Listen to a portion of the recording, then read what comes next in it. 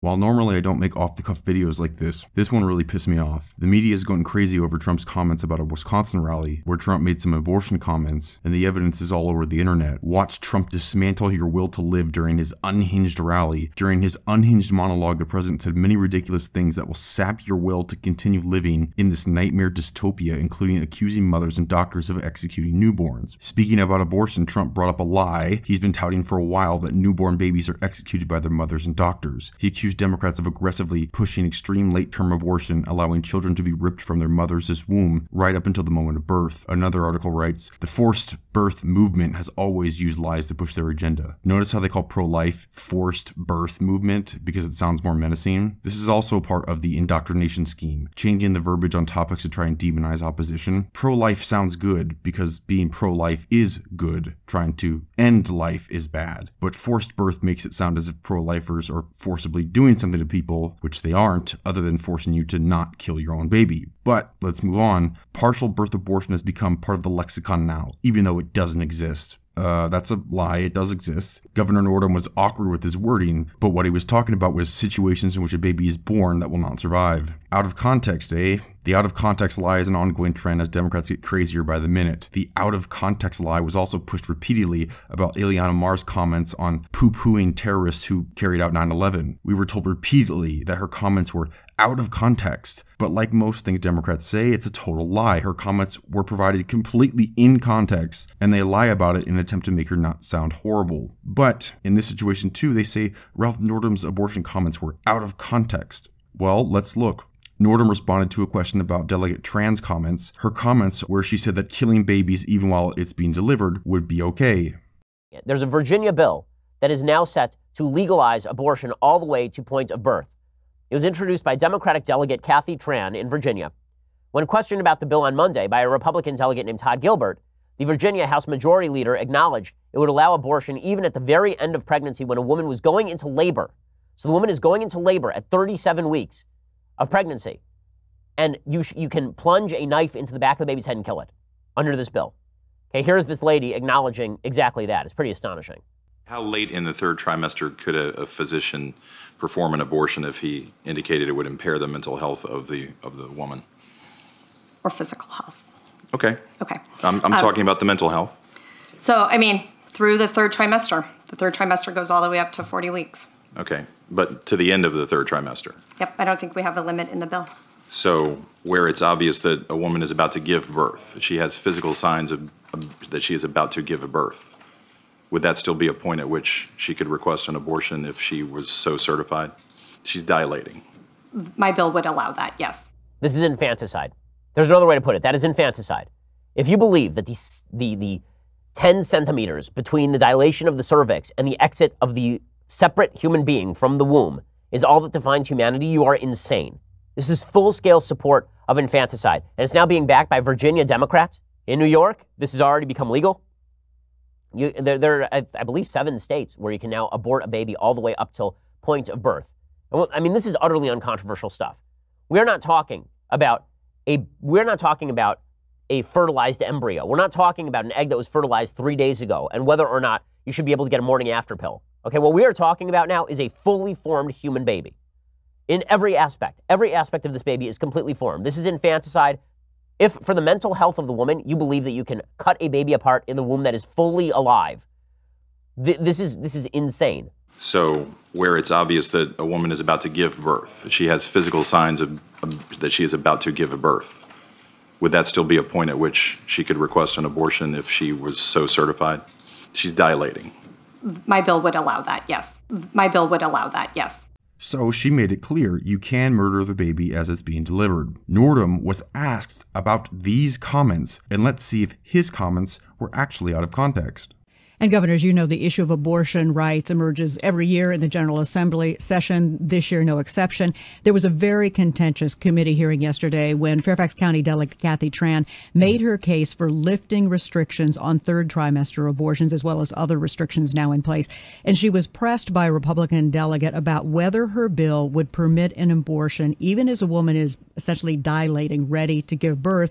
And she answered that it would permit an abortion at that stage of labor. Do you support her measure and, and explain her answer. Yeah, and I'm, you know, I wasn't there, uh, Julie, and I, I, certainly can't speak for uh, Delegate Tran, but um, I would tell you one uh, first thing I would say this is why decisions such as this should be made by providers, uh, physicians, uh, and uh, the mothers and fathers that, that are involved. Um, there are, you know, when we talk about third trimester uh, abortions, these are done uh, with the consent uh, of obviously the, the mother, with the consent uh, of the physicians, more than one physician, by the way.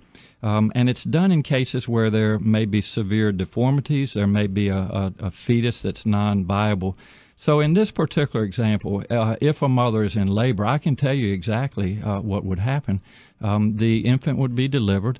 Uh, the infant would be kept comfortable. Uh, the infant would be resuscitated if, if that's what the uh, mother and the family desired. And then a discussion would ensue between the physicians and the mother. So, so I think this was really blown out of proportion. Uh, but again, we want the government not to be involved in these types of decisions. We want the decision to be made by uh, the the mothers and their providers, and and this is why Julie, that legislators, most of whom are men, by the way, shouldn't be telling a woman what she should and shouldn't be doing with her body.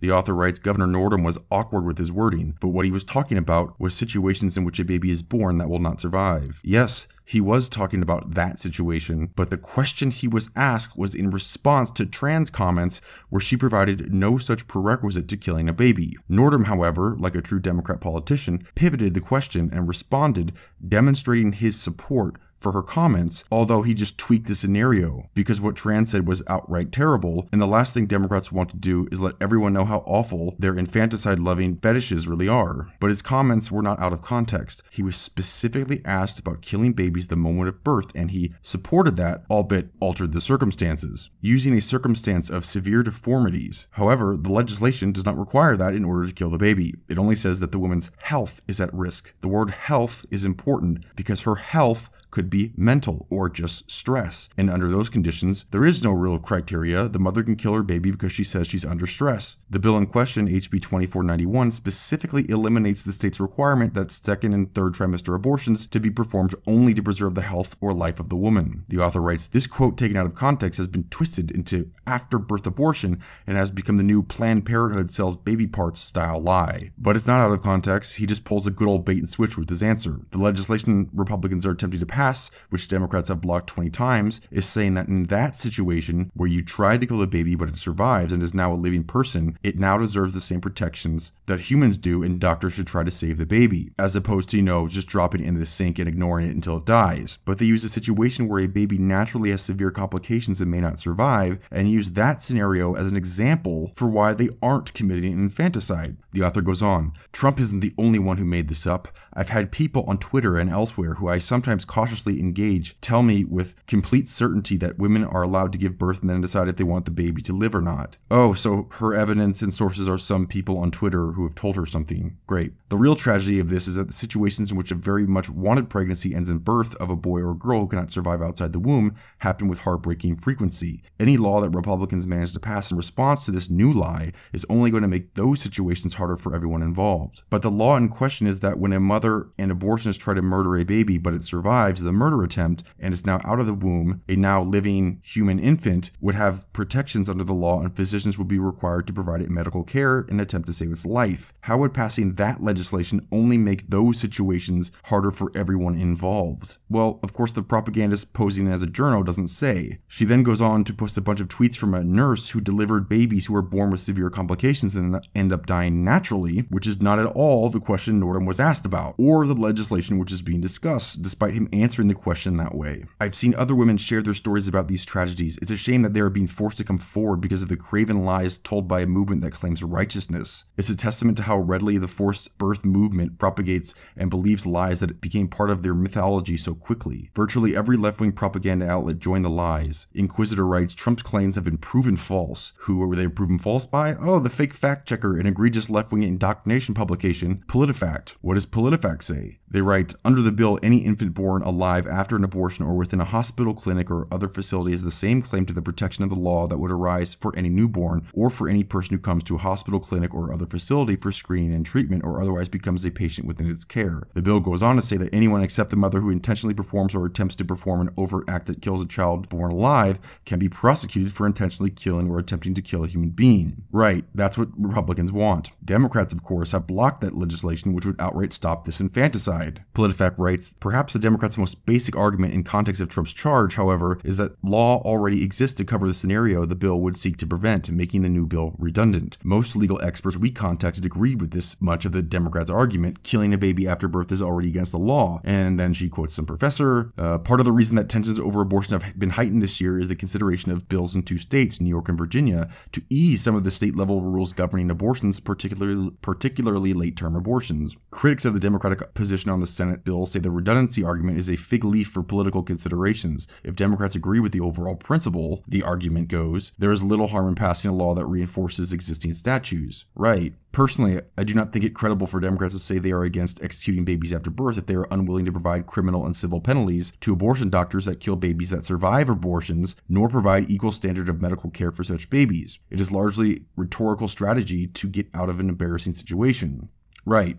PolitiFact writes, in reality, both sides agree that active killing of a breathing newborn is and should be illegal, which is not true, which is why we're talking about this. There is a broad consensus that a child that takes its first breath has crossed a bright line from fetus to child and should be protected by the law. That's actually not a broad consensus. Most people are against abortions after three months, so they think of a fetus after three months is actually should be protected. So uh, that's that's another lie. But this is a clear-cut concept that we can all agree upon," said another professor. The notion that anyone supports executing infants after birth is preposterous, which is another lie. More complicated are cases in which the newborn is so severely disabled that they may not survive beyond a few days. That's not what we're talking about here, PolitiFact fact, then again, many abortions that occur later in pregnancy involve fetal anomalies incompatible with life. That's not what we're talking about. We're not talking about naturally occurring problems. Babies born post abortion, spontaneous or induced with horrible or and potentially painful conditions incompatible incompatible with life. That's not what we're talking about. But what is their ruling? There's little question that the vote on the Senate bill was uncomfortable for Democrats. They effectively voted against a bill whose principles they said they support, which is not shocking at all to any Republican or thinking person, arguing that the bill would be redundant because those principles are already enshrined in law. However, Trump overreached when he described Democrats as tolerating executing newborns. No one supports actively killing newborns, much less executing them. The contested terrain concerns what efforts should be made to extend the lives of babies who are not expected to survive long with severe disabilities. We rate this statement false. Do you see that? Did you see what they just did? The contested terrain concerns what efforts should be made to extend the lives of babies who are not expected to survive long with severe disabilities. That's not the contested terrain. That's not at all what we're talking about. That's not what Republicans are upset about. That's not what Delegate Tran said when she said that mothers could kill their babies coming out of the womb. She did not say that they had to be, have severe disabilities. Governor Northam was asked the question about her comments, and he brought up a situation with severe disabilities, but that's not what she was talking about, and that's not what Republicans are talking about. But they're using that scenario as justification for not providing babies protections after they try to kill it and now it's out of the womb. It's amazing. It's really amazing. Vox also disputes the claim Democrats commit infanticide, saying infanticide is illegal and no abortion rights groups support it, which is also a lie. They all support it. But see, they simply don't call it infanticide. No, no. The worst thing Democrats could do is call their terrible behavior what it actually is. They call it an abortion, but when the baby miraculously survives the abortion, they simply don't provide it any medical medical care. So a seriously wounded baby by attempting to murder it, but miraculously survives, and then you just dump it in the sink and ignore it, that baby will of course die. It won't survive if you don't provide it any medical care or try to save it. So you see, that's not infanticide. That's just letting the baby die. You know, just like when a baby is born with severe deformities or complications and won't survive. They're not executing it, they're just letting it die. But this is what they do. They dominate the media headlines claiming what Trump said was a lie. They dominate search results with articles saying it's a lie. They cite their fellow propagandists that proclaim themselves to be unpartisan fact checkers, which they aren't, but they use that as evidence to support their claims, and all the while using straw man scenarios and applying those situations to justify their own, even though they're under drastically different circumstances. Because today, being a Democrat is synonymous with liar, and lefties know full well after 100 years of of getting PhDs in propaganda